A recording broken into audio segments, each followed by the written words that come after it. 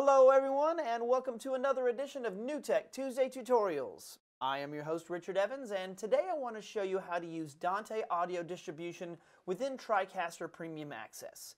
Now Dante Audio is digital distribution of audio that lets you send and receive audio signals to any Dante enabled device on your network. Essentially it's the audio version of NDI. Now you can find out more information about Dante Audio at audinate.com.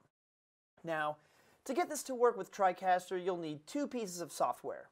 First, you will need to download a Dante Virtual Sound Card onto the TriCaster. This is a $30 application that will allow you to send and receive Dante audio on your TriCaster.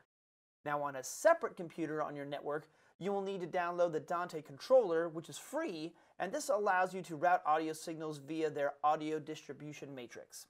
For this example, we're going to use just the TriCaster and a Dante-enabled mixing board, but you can use any Dante device you have. So first, let me show you how to receive audio on the TriCaster TC1. So now on our TriCaster on the Windows side, we'll need to open up the Dante Virtual Sound Card that we've downloaded. And you'll see a couple different options here, and just to give you an idea of what to stick with, let's go ahead and we'll stick with WDM for the audio interface. Audio channels are set to 16 by 16 by default. Let's make sure that we keep this Dante latency as low as possible, so 4 milliseconds, and then also determine which uh, network interface you want to use. And in my situation, I'm using Ethernet 2. And from here, let's go ahead and click on Start. And now we are able to receive Dante audio. Now if we look over on my laptop here, I can see that my TriCaster TC1 has now shown up as a transmitter and a receiver for bringing in my Dante audio. 16 by 16 channels. Now, let's go ahead and fire up a session here.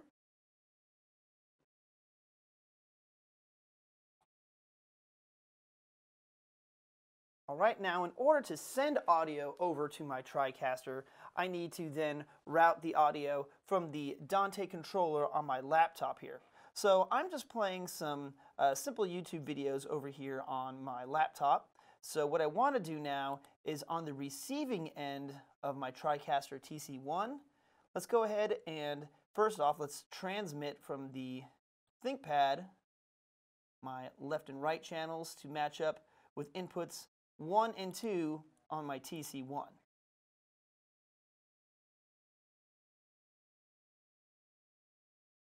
There we go.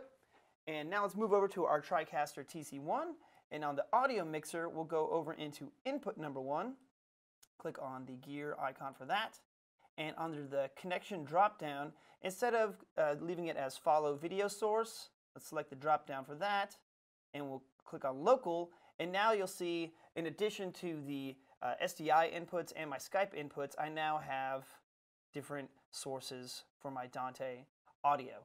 So let's go ahead and bring that in here. And now you'll see that I have some levels playing over here on uh, ones and two. Now, the cool thing about this is I can route this audio wherever I want it to.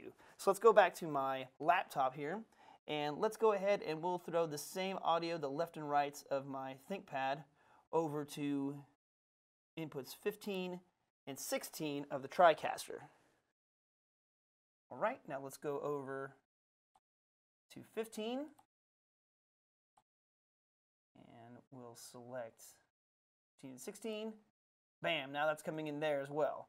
And I can move this all around wherever I need to. I can even go into any random input source and select that audio and bring that in wherever. So as you can see, it doesn't necessarily need to follow what's on the drop down on the uh, TriCaster, but just wherever you have it written, uh, or sorry, routed on your Dante audio matrix. All right, now let's take a look at how to turn the TriCaster into a transmitter for audio using Dante. What we'll need to do is first let's make sure that we're running some sound here. So I have a clip playing in my DDR1 and in my audio mixer, what's cool about this is I can send these individual channels on TriCaster to route those out as a Dante source. So we'll click on the gear icon next to DDR1 and in our DDR settings under the routing tab at the very bottom of the screen here, you'll see that we have supplemental output device. And if I click on that drop down, you'll see all of the different 16 channels of Dante audio that I can send out. So I'm going to go ahead and send DDR1 out on channels 1 and 2. And let's move over to our laptop to our Dante controller.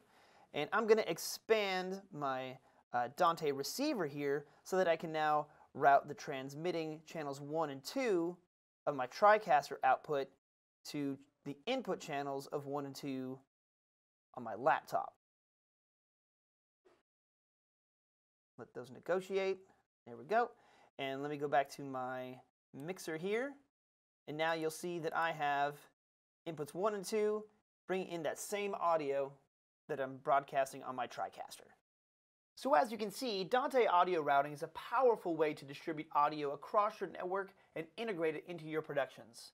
Now, outputting individual audio channels via Dante is only available if you subscribe to Premium Access. But if you have a TriCaster with Advanced Edition software, you can still bring audio into the TriCaster via Dante Audio.